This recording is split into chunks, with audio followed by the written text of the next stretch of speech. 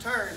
Unless this guy's spine's made out of rubber, I usually have to take one of my legs out to turn him, but we'll get to that point eventually. Right now, we're just gonna break this guy down with one leg and a back hook. So I'm gonna double thigh pry and jam.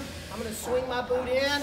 I want you to do your stand-up drill every time. Now, if my right leg's in, I'm going to cross his body with my right arm. My elbow's gonna drop in his armpit, and I'm gonna snake down to his wrist. I didn't say hook at his elbow. I said snake to his wrist. Notice both my feet are still in the mat. What's so important about my feet being in the mat? I can, I'm athletic, I can generate power, I can change direction. I'm in good shape. So my feet are in the mat. My ankles aren't crossed and I'm just sitting on his back.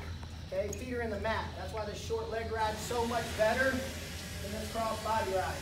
The crossbody ride limits my ability to turn. I, I'm always going to be feeling like I'm falling to my right and my feet aren't set in the mat. Okay? Crossbody ride you can turn people with. I'm not saying it's bad, but I want my saddle straight, right arm, right leg, across the body, elbow in the armpit, snake to the wrist.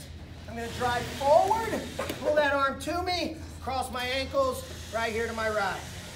Okay? Once we have this guy broken down, See how his arms are already by his side when I broke them down? Once I break them down, I'm just gonna come up under his chin to his shoulder, right here, but I'm gonna put my knuckles in his face first. Most guys try to fight this shoulder, okay? His shoulder's pretty strong. So I'm gonna come under his chin, not his armpit, under his chin.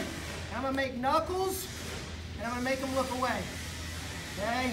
I'm gonna make a fist, I'll put my knuckles in his cheek, I'm gonna make him look away, and I'm gonna shock his back right here.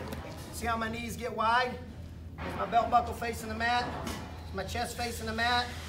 Right here, I'm in good shape. This is why this position is so important. Because if I'm here and I'm footballing the head and I'm hooking the arm and all this stuff, and he fights and turns into me, see how my chest's up? What do I have now? What move do I have now? A turk, right? I have a Turk, and then I just start driving off my free foot. Okay? So not only did I not put myself on my hip, so he turns into me and reverses me and catches me on my back, but I put my chest and my hips and my legs in a good position to where if he does start fishing out and turn into me, I just bring my chest over the top of his and I keep, keep him on his back. Okay? That's what good top guys do. They have an answer for everything this bottom guy is going to do.